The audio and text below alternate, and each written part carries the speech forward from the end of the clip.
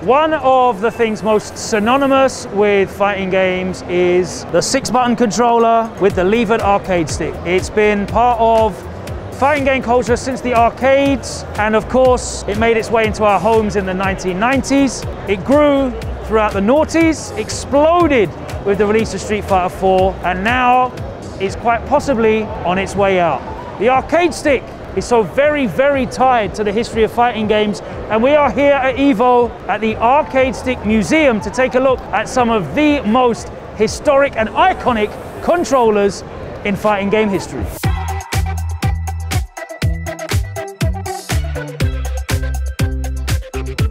Let's start one of the most iconic fighting game controllers ever, uh, the MAS Stick. The MAS Stick was released uh, in conjunction with the release of Street Fighter 2, it allowed people to take what was essentially an American arcade cabinet setup into their house, which is what everyone wanted, a way to practice and play the games that they loved at home with the release of the home console versions. With the resurgence of arcade fighter titles and their near perfect home ports in the late 90s and the turn of the millennium, the MAS Stick saw a huge resurgence with the likes of the Marvel vs. Capcom 2 and the Capcom vs. SNK communities. The price of these sticks almost became a obstacle to entry in the competitive scene. Unfortunately, they were very, very difficult to get hold of. They started reaching incredible resale prices amongst the community as they were so difficult to obtain. The build quality, the components, it had to feel right. It was so important that the players got the authentic experience and it made it so hard to get hold of these sticks. Of course, as console gaming got bigger and bigger and fighting game ports became even more common, uh, there started to become more options and more companies, corporations, in fact, got involved. We saw the release of the Namco stick with uh, Tekken 3, which people were able to use in their homes, and companies like Konami and then Dreamcast, uh, the famous Green Goblin, released uh, more commercialized sticks that were far easier to get hold of, and these saw huge rises in sales. Corporations like Hori began producing sticks that popularized Japanese components, which were not as well known in America. They favored their concave buttons and bat top setups. These ball top levers and far more sensitive buttons proved to be uh, quite alien to a lot of the American arcade goers. But with the amount of support that they had from these corporations, it became more and more and more prevalent. Which brings us to 2008. Street Fighter 4 revolutionized fighting games. It brought fighting games back to a level which saw unheard of engagement, growth. Events like EVO became so much bigger off of the back of the release of Street Fighter 4. And the same can be said for the peripherals market. Working for the less than popular peripherals manufacturer Mad Catz, which had a pretty poor reputation at the time, Markman put together this project. In fact, Markman was the man responsible for curating this entire collection. Almost all of these sticks come from his personal collection from his home. He was the man responsible for making the tournament edition Mad Catz arcade fight stick. And this is what changed everything for controllers. You may have seen earlier on in the row the Chun-Li Super Edition of this stick, uh, which was a slightly smaller version. But with the release of the Tournament Edition in North America, it pretty much standardized the use of Japanese components like Sanwa in arcade sticks. And this just gave everyone access to the kind of fight sticks that would be of a professional level, mimicking the Vewlix cabinets that people would play Street Fighter 4 on at the time. Mad Catz continued to iterate on their tournament edition popularity with this fight stick, the Versus SE, which was incredibly expensive and had silent components as well which was uh, quite the novelty. Games like Mortal Kombat got involved with their higher end arcade controllers, which again, oh, hello. Hi. We have a special guest. I was just telling people how amazing your collection was. Oh, nice, yeah. And how important the work you did on this was, actually. I just, I was just in the neighborhood. I saw you talking, and we both like our kids sticks. We do, we do. So we were just talking about how important the TE was for the growth of the peripherals market. At the time, it was pretty niche.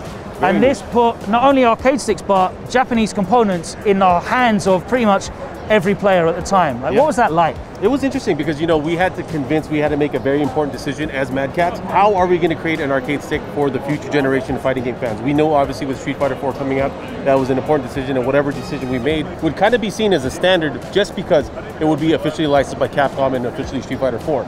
That being said, it was an easy decision for me because I knew that American arcades were dying and more and more people were starting to import arcade sticks from overseas. So we went with the Vewlix style layout, the Vewlix style arcade controls, and you know, it really changed everything because you know Japanese arcade sticks weren't easy to get. People had to import and pay hundreds and hundreds of dollars to get them. So we decided why not make a quality style arcade controller that would help people bridge into what this new generation of fighting games are being. We haven't looked back since. I think since then, more and more companies have gotten into the space. More and more companies have gotten into supporting the players and events, and it's really changed not just from a control and actual physical goods standpoint. It's changed so much that it's become an industry all in itself. I want to ask you two questions. Uh, The first about the components, because obviously we talked about earlier the American arcade cabinet standards of the time and how different the more sensitive and ball top controllers from Japan felt to a lot of those players. Yeah. Obviously, as a Tekken player as well, you'd have been very familiar with the Korean levers, which felt different as well, and their buttons were ever so slightly different. Mm-hmm. So there's three different camps at the time. Like, what was that like as well in terms of, you know, how specific were people with these controllers, with their preferences? You know, preference is key, and that's really what it is all about in terms of the community. Is being able to give people a way where they can customize something towards their liking. You know, it's it's hard at first because you have you know decades of American style parts, you have decades of Japanese style parts, and and that world kind of melding together. And the way that you know, again, I mentioned earlier that arcade scenes were kind of dying. It was only a matter of time before we kind of figured out more of a standard of what the community would kind of support and what they liked, and that kind of lead towards the Japanese side of things. So one of the things that we did at Mad Catz, and I think a lot of other companies kind of followed suit, is they made their arcade sticks customizable to the point where they could put in almost any any kind of part that you want. With how American parts were kind of tre- trending, it wasn't really the preference of, of what we found out was it wasn't really the preference for a lot of the players anymore. So what we try to do is try to make sure that we could support all the Japanese style parts, but also Korean parts as well. So one of the things you'll see from all the arcade sticks from I would say 2012 afterwards is that not only do they support almost any style Japanese parts, but also Korean parts as well. So unfortunately, the American stick is now like the niche for the for the for the parts. But the thing is, there's something for everyone out there. If you really want to have like old school flavor, or you want to have something more Korean, it's really easy to kind of figure out what kind of stick you want, and the resource and the information is out there. Absolutely, absolutely. Uh, I wanted to ask you as well. So, one of the things that people spoke about in terms of the growth of esports is the ability to bring in sponsors, whether they're endemic or non endemic, but peripherals and components are a very big part of that. Yeah. What your time at Mad Catz, you were one of the first companies to actually utilize players as influencers, Oh, yeah. sponsor players, brought a team together, in fact, on the Mad Catz.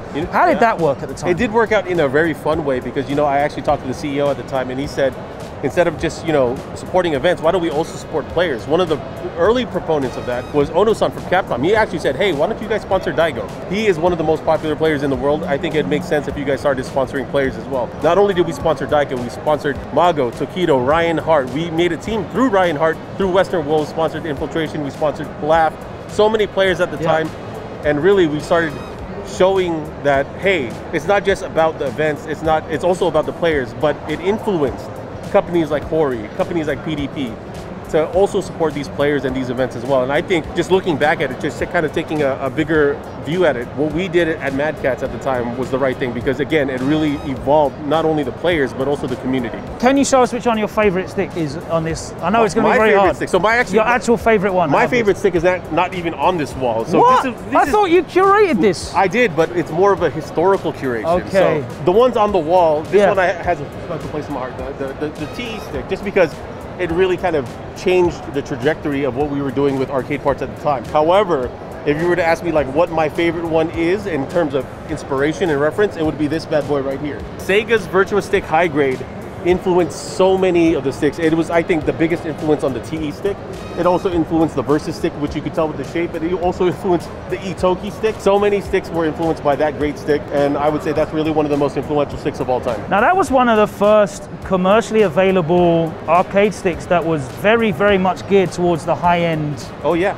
Oh, oh, of, yeah. of that market. Oh yeah, it came at a time, you know, it came at a time where Virtua Fighter 4 first came out, so it was many years ago. I I was 2007, if I remember correctly, and it was on a new platform. And one of the things that a lot of people have to remember is when new games come out and when new platforms come out, like for example, when PS4 was new, when PS5 is new, that is the time when people really start to invest in new arcade sticks. So it's very important to have a bespoke design, one that kind of resonates with the community and what that resonates with what a player would want and need. What are the things for you that like make an arcade stick stand out? What do you look for as a man that owns almost all of them? I think there's probably single digits left on your to get list. Yeah, there's only like three that I'm missing. Exactly. What is it that stands out for you in an arcade stick for in terms me, of design? even the smallest minute detail is a standout for me. And knowing why those changes are, are made, that's enough for me to want to buy it and have it in my collection. There's a lot of reasons why I'm into arcade sticks, but I look at every single one of them as kind of like works of art. I don't want to say it's like individual art pieces, but more like if you look at cars, like there's so many different cars that are out there, Yeah. but everyone has a different story behind it. Everyone has a different design methodology, and that's what I love about arcade sticks is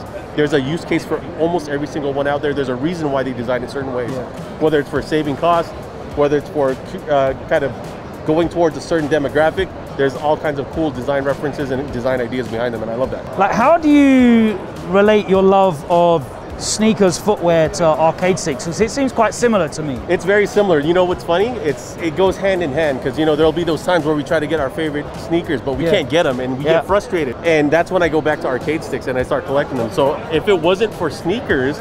I wouldn't have gone hard on arcade sticks because arcade sticks at the time were very easy to get. Obviously, a little bit more expensive, but it was one of those things like, hey, you know what? I can't get these sneakers I want. I'll spend that money on arcade sticks instead. It was one of those things, and it goes hand in hand. It goes back and forth. It's a it's a fun battle. All right, I want to ask you because we're going to put this in the video. It's quite important. Yeah. I think it's very poignant right now where I stand here and I look at the history of nearly 30 years of levered controllers and I look out ahead and I see the hitbox stand looking straight at us as if it's walking past uh, a memorial almost of levered controllers Yeah. or arcade sticks. As we see, you know, even Daigo has now uh, been sponsored by Hitbox after playing on a leverless controller Yeah. for many years now. Do you feel like the time is over for, for levered controllers? Definitely not. The majority of the players still play on arcade sticks when when it comes to not using the control pad, right? The thing is, the, the, the beauty is out there that people can find what works best for them. Mm-hmm. And I think the ev- evolution of these players to be able to play faster, play smarter, play more accurately, that is the most important thing. And whether it's things like the cross up, where it's the best of both worlds, where it's a lever and button controls, or if it's purely button controls, that's what I want to see what works best for each player. Because even if you ask like some of the best players, Daigo and Tokido, that use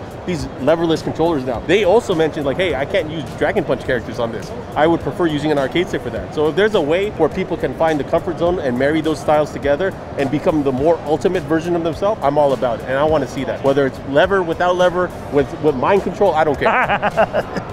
I think we're a little way from mind control being Yeah. legal at Evo, but I'll make it happen. I'm a hardware whiz. Thank you so much for talking to us, man. Appreciate it. And what a beautiful collection. I know it's only a fraction of what you got, uh, but there's so small many historic pieces here. Uh, it's a great piece, man, and so important for the FGC to be able to come out and, and appreciate all of this. Thank you so much. No problem. Thank you. A number of other companies got into the game after the success of Mad Catz pulling ahead in the controller peripherals market. It was so popular uh, that many more had to get involved. Razer, the internationally renowned uh, PC and peripherals company, got into the game with the Atrox in 2012, which infamously malfunctioned uh, at grand finals of Evo that year. They got back in the game with the Pantera, which is recognized as one of the best sticks, so it worked out well for them. Qanba have been involved in arcade sticks for a number of years, but with the release of their Obsidian, which is almost the spiritual successor to the tournament edition Mad Catz in the layout and the size, of the stability, the look of it, the customization ability of it, it is very much the modern equivalent of that T, and it has seen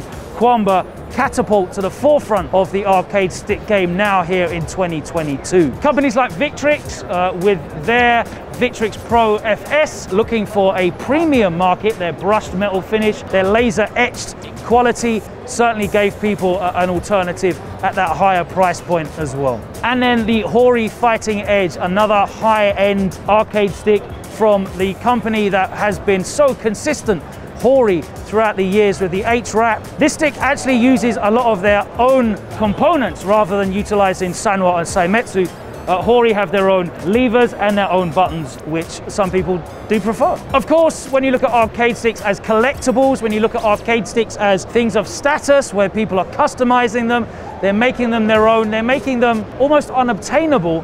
The most unobtainable of fight sticks would be these here.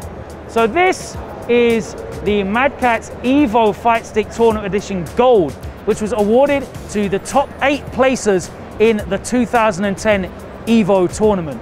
And of course, it doesn't get any rarer than this. They repeated that again with uh, their updated TE2. And then this year, let's take a look at the stick that will be awarded to the top eight placers at EVO 2022. The Victrix Pro FS Gold is going to be awarded to the top places of main EVO 2022 titles. And this continues the legacy of previous gold trophy editions of the arcade stick. It retains the brushed metal finish, but you can see the chrome components there, the Evo laser etch. It is truly a prize worthy of champions, the best players in the world, and it's a beautiful piece. I would love to own one. I'm never gonna get my hands on one without trying to steal this. So let me make sure that no one's looking, and I'll be back in a minute.